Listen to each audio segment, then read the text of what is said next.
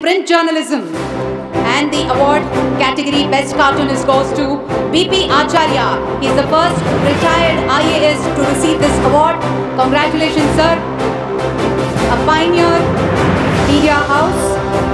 Acharya is a senior officer of the 1983 batch Indian Administrative Services and was the Home Secretary of the erstwhile Andhra Pradesh state.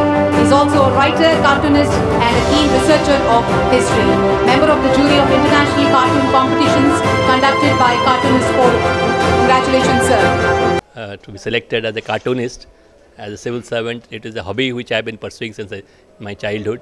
I'm very hap- happy and uh, delighted that they could recognize this talent of mine and uh, selected me for the award. No, uh, in, during the service there very little time to do cartooning and there are restrictions as a civil servant. So uh, after retire only I could do cartooning. So now I could, that's how I started doing a weekly column in the Pioneer and it's been published for last two years. A, a cartoon speaks a thousand words. We can have a report uh, of a thousand words. Cartoon is worth more than uh, that. So it's important to have that sense of humor and to that satire on the systems, which to uh, uh, show things in a different perspective. For instance, my column is called the obtuse angle, to see things in a different light. So that's how I felt it's important. Thank you.